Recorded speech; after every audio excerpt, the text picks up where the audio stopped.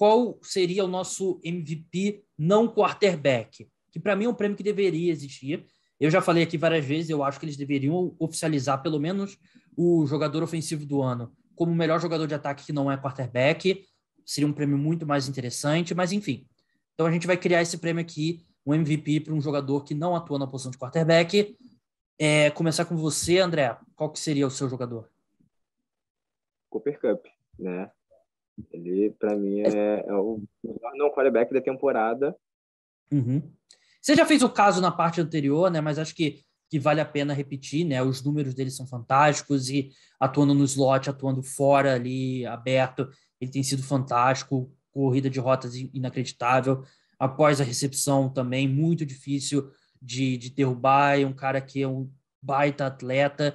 E eu tava, um tempo atrás, eu tava, não sei se eu li ou escutei no podcast, agora eu tô em dúvida que assim que o Stafford chegou na organização, eles come, começaram a fazer amizade e tal. Aí tem uma história que, não sei se durante o training camp ou agora na temporada, eles tomam café da manhã todo dia juntos e desenvolveram uma conexão bem, bem interessante. E o Cooper Cup, acostumado com o Jared Goff, muda para o Matthew Stafford. Ele que já tinha bons números com o Goff, explodiu com o Stafford, mas realmente é um receiver fantástico que é difícil apontar uma falha no jogo dele, né, André? É, ele ele é um cara que estuda muito sobre o jogo. Ele é um cara muito inteligente. E isso é um ponto muito a favor, sabe? Um cara que, quando ele começa a entender de sistema defensivo, é, eu não sei se vocês já chegaram a ver a entrevista dele, né? Que até é. a NFL colocou, né? A uhum. NFL Brasil colocou explicando é, o porquê que ele tinha dado certo numa jogada. E ele fez uma leitura perfeita da defesa, da movimentação defensiva.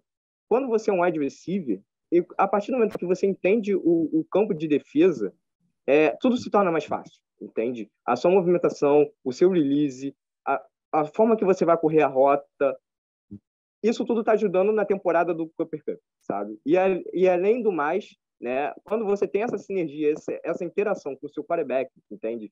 Quando você tem essa, essa conexão, como ele está tendo com o Matt Stafford, não tem como dar errado, sabe? É, é por isso que hoje ele, para mim, é o melhor wide receiver da liga é, não estou dizendo que ele é o melhor dos nomes, entende? Mas em campo. No ano, nesse ano, né? Exatamente. Ele é o melhor wide receiver da NFL, tá? É, que nem aquela coisa, por exemplo, para mim o melhor quarterback da NFL é o Patrick Mahomes. Ele não é o melhor quarterback da temporada, mas acho que o Cooper Cup é meio isso, né? Ele é o melhor wide receiver da temporada. A minha escolha, depois eu vou querer perguntar se você considerou mais alguns nomes, mas o, a minha escolha, eu levei muito, pensei muito entre dois nomes. Um deles é o Cooper Cup, que eu acho que, com tudo que você falou, não tem mais a, a acrescentar. Mas eu vou com outro. Eu vou com o Trent Williams, left tackle do San Francisco 49ers. Left é, tackle, jogador de linha ofensiva, não, não é considerado para esses prêmios nunca, né? E é muito difícil medir o desempenho deles individualmente é, a gente evoluiu muito, né, em questões de, por exemplo, o Pro Football Focus com as notas deles, é, questão da ESPN com win rate, né, e tal. Mas o Trent Williams, ele tá tendo um ano fantástico, fantástico, fantástico. E ele que já é mais veterano, né, se não me engano, ele tem 33 anos, 32 anos, mas é um cara que sempre foi muito bom, mas enterrado lá em Washington, em São Francisco, nesse esquema que o jogo terrestre do 49ers tão criativo, que coloca ele em espaço, ele está sendo, assim, um trator no jogo terrestre. Fantástico no jogo terrestre. Ataque, é, para passe também, fantástico, protegendo muito bem. E, assim, o São Francisco 49ers esse ano tem três caras ali que são dos, discutivelmente, os melhores da posição deles esse ano, né? que é Trent Williams, Josh Kittle e o Debo Samuel, né? Então ajuda ali a vida do Jimmy Garoppolo. O último número que eu vou colocar aqui é ele está caminhando nesse momento para a maior nota na história do Pro Football Focus. Né? Eles começaram é, meados ali dos anos 2000. Ele está nesse momento com nota 99.0, que é um negócio de outro mundo.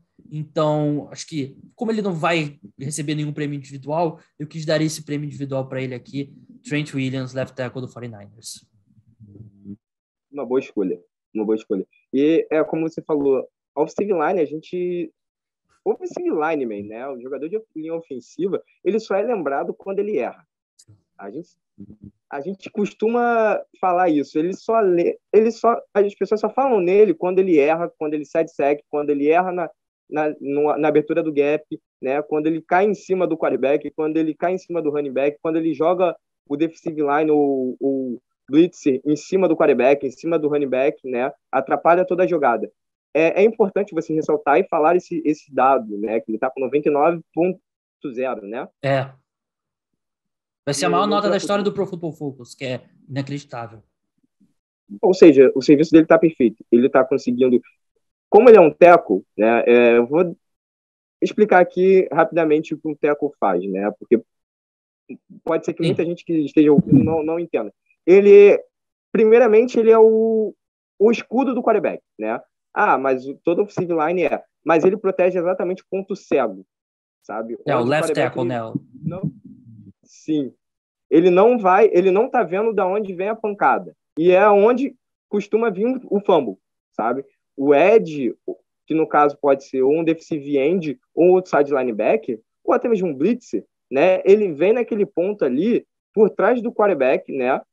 E já encaixando no tackle para dar um soco na bola e fazer que a bola seja solta e acontecer um fumble e aí acontece o caos que a gente vê ali atrás nas trincheiras, né?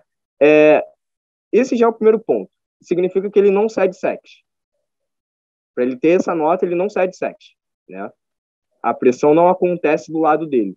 E quando há corrida, né, ele libera o gap que, como eu falei, ele vai liberar ou o gap C ou o gap B, né?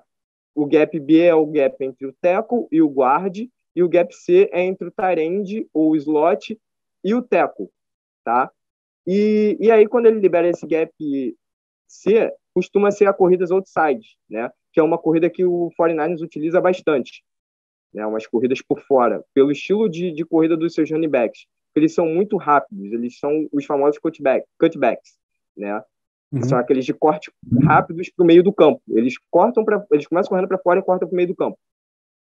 É, isso também é importante, porque as corridas estão entrando naqueles gaps. Né? Se, se ele está tendo essa nota, é porque o trabalho dele também no jogo terrestre está sendo perfeito. É, é, muito bom. Pode falar. Não, é, eu, isso, eu ia complementar isso que você falou do 49ers, né? Que o 49ers é aquele zone, zone running scheme, né? Que zone blocking, né? Que não é aquele jogo que é, ó, você vai correr por esse gap aqui. Ele, o pessoal corre meio que em ritmo, né?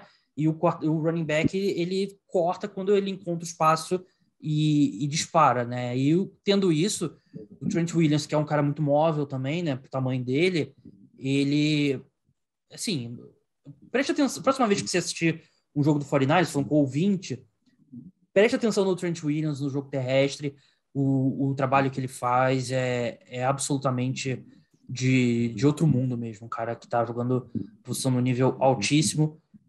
Mais algum nome que você você cita aí nesse, nesse debate? Cara, eu sabe quem eu pensei também? Jonathan hum. Taylor.